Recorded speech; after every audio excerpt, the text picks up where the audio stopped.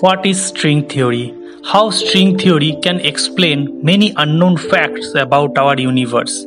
Friends, here I am taking you to a musical journey of these tiny vibrating energy strings.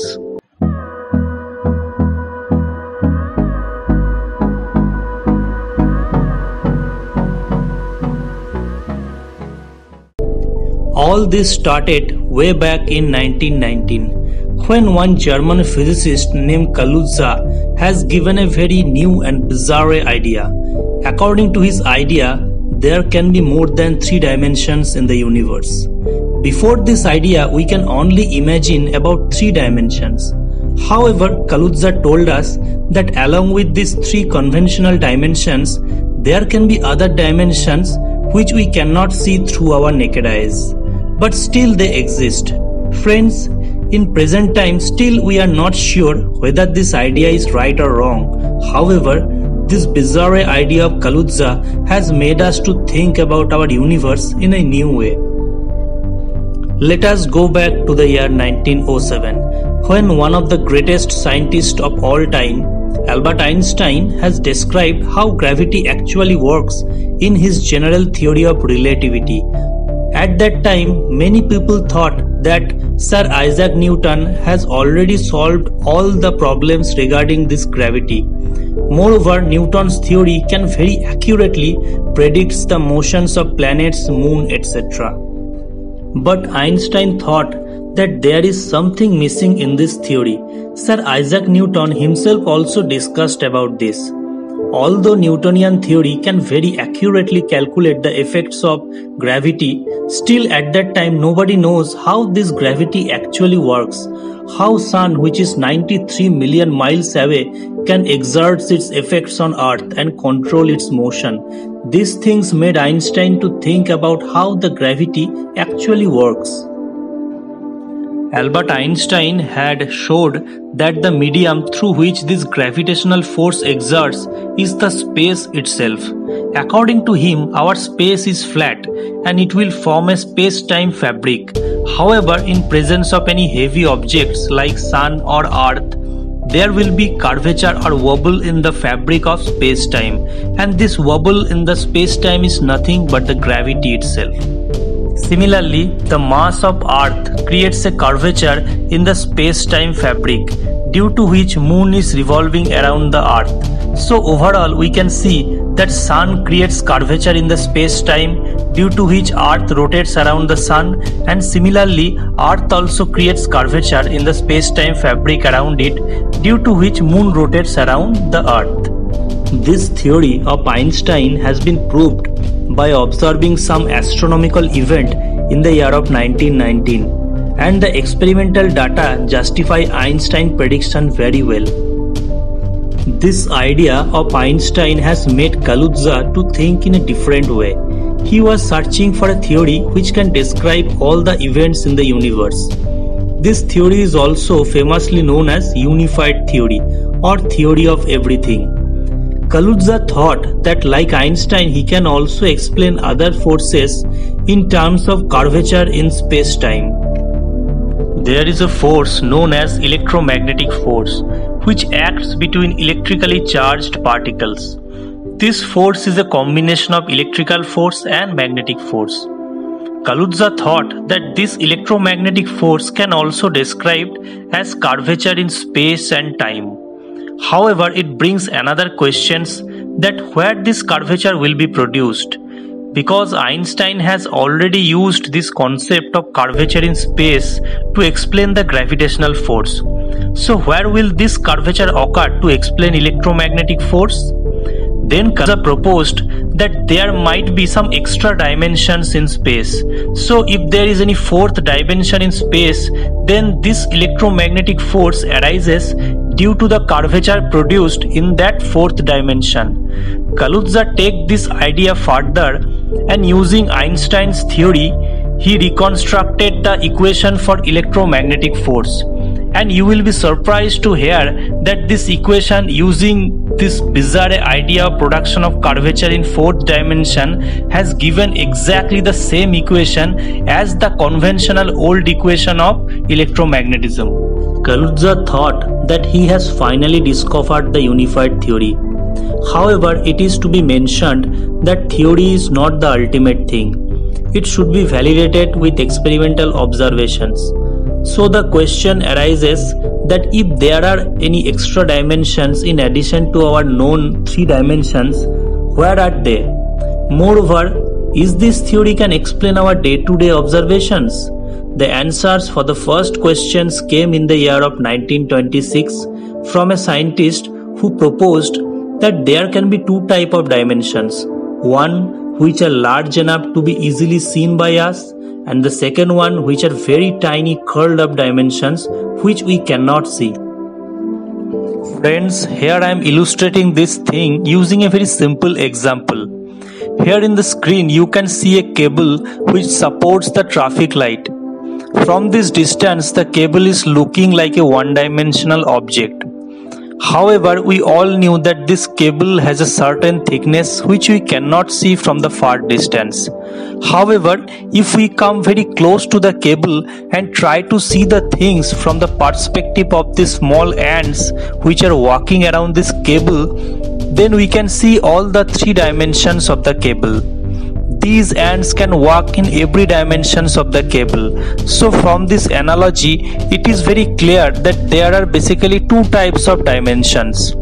One is called the macro dimensions, which we can see in three-dimensional space, and another one is called the micro dimensions, which is so tiny that we cannot see them. Friends, here you can see the space in three dimensions and if you see it in a very small scale which we call microscopic depth then you can see the extra curled up dimensions. As you can see these circles in the screen these are the extra dimensions which are so so small that we cannot see them. However if you became an ultra microscopic ant which is roaming in that surface then you can easily access macro as well as curled micro dimensions which we cannot see in reality. Very amazing and bizarre idea, isn't it? Friends, however, the second question is still there, where it was asked that whether there is any application of this jaw-dropping bizarre theory to our real world. Einstein and Kaluza had tried very much to apply this theory into the real world. However, it does not work exactly the mass of an electron obtained using this theory doesn't match with the experimental value. So with time, people were losing interest in this theory and by the year 1950 it is almost faded away. However, something amazing happened after that when this theory has been revived by many new scientists, which gave it a new dimensions, which is popularly known as superstring theory. The interesting fact is that superstring theory do not talk about the extra dimensions initially. However, the idea of these extra dimensions comes spontaneously in this newly developed theory when we apply it. This superstring theory is trying to understand the most smallest uncuttable or undivisible particle in the universe which should be the most basic fundamental entity which we would never be able to further divide into smaller ones. Let's understood this through an example. As you can see here a candle along with the stand. Now we want to know the smallest unit or building block of this candle. If you go deep into this candle, then we would see the atoms inside it. We knew that atom is not the smallest entity. There are subatomic particles like protons, electrons and neutrons with which the atom is formed. Finally, if we go more deep into these subatomic particles like protons or neutrons, we would find that they are made of smaller particles named as quarks. The conventional physics stops at quarks. After that, here comes the new idea. According to that idea, if we further goes deep into this quark particle, then we would see these types of dancing filament which is made of nothing but energy. These energy strings are vibrating in different modes. From this idea, the idea of string theory evolved. Friends, you people would be mesmerized by the fact that depending upon the mode of vibrations of this vibrating string, different particles are generated from them by which our universe is formed. So basically our universe is made of these types of very tiny vibrating energy strings which are vibrating in different frequencies and different frequencies gave rise to the birth of different types of particles like protons, neutrons, electrons, gravitrons, etc. So here you can see a glimpse of unified theory.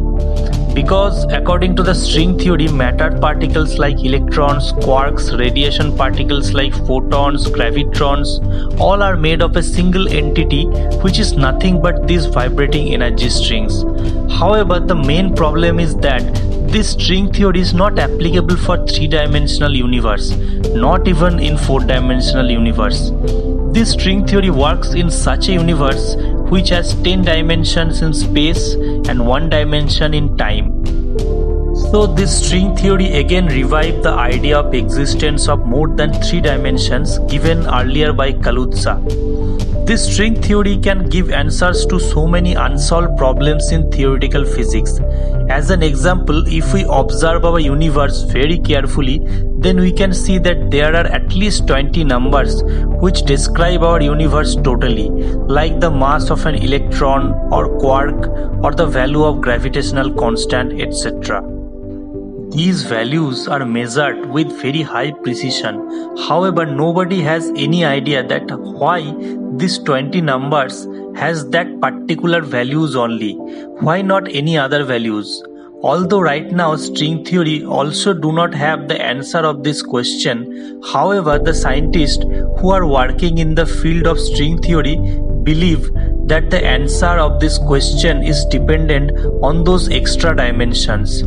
The interesting thing is that if the values of any one of these 20 parameters would something else, then our universe would never exist. String theory predicts that the values of these 20 parameters is depending on those extra dimensions. In string theory, whenever we are talking about extra dimensions, it is not only 4 but instead it is about 10 dimensions in space and 1 dimension in time. These dimensions are basically remain as intertwined geometry as you can see here. This type of shape is also known as Calabi-Yau shape. As you can see that these dimensions were folded with each other and made a very interesting shape. So this is our universe looks like in a microscopic scale. So now let's focus on those 20 numbers. Here you can see an instrument in this video. Now the musical vibration coming out from this instrument will depend upon the shape of it. Now listen to this very carefully. According to the string theory, these 20 numbers depends upon how those energy string vibrate. This is almost similar situation like a musical instrument. The different vibrational mode will produce different types of tunes in a musical instrument. Similarly, different vibrational frequencies of these energy strings would produce different types of particles. As I have told you, the types of vibration produced in the musical instrument will depend upon the shape of the instrument. Similarly, the mode of vibrations of these energy strings will depend upon the geometry of those extra curled up dimensions. So friends, let us we add these vibrating strings to these extra tiny dimensions. Now if you see carefully, you can understood very easily that the vibrations of these energy strings is dependent on the geometry of those intertwined dimensions. So friends, if we ever able to know about the geometries of these tiny intertwined extra dimensions, then we will be able to calculate the allowed nodes of vibrations of those energy strings. From this, we can also calculate those 20 numbers and if the results of this calculation match with the experimental values, then that will be the first direct answer of the question that why our present universe has this structure. Now the main question is that how can we test directly the presence of these extra dimensions? Many eminent scientists involved in string theory believes that in upcoming few years it can be possible. A giant machine has been made near Geneva, Switzerland, known as Large Hadron Collider. This machine allows the particles to travel near the speed of light inside a vacuum tunnel in two opposite directions. And when these particles are colliding with each other, then we can expect that if the energy of this collision would be sufficient then maybe some debris ejected out during the collision can be shifted to that extra dimension from our dimension. Now, if we measure the total energy before and after the collision, and if there is a reduction of energy after the collision, then it would be the direct evidence of the fact that this energy is being drifted to the extra dimension from our dimension. This will be the first confirmatory test about the presence of those extra dimensions, which was predicted way back in the year of 1926 by Kaluza. So friends, we can see how our science evolved right from the era of Sir Isaac Newton when there was not such importance of space. Then Albert Einstein said that space and time form a type of fabric and the curvature formed in those fabric produces the gravity. After that the idea of string theory came where it is said that all these things like gravity, quantum mechanics, electromagnetism are like a single package and it is only possible when our universe would have more than three dimensions. This string theory gives us so many mind-blowing and bizarre ideas like our universe is not the only universe. There can be millions or billions of these types of universe can be possible. So friends, there are so many things yet to be understood about our universe and this string theory can play a very crucial role in it. If you do like this video then please like and share this video and don't forget to subscribe to my channel to get these types of interesting video. Thank you very much.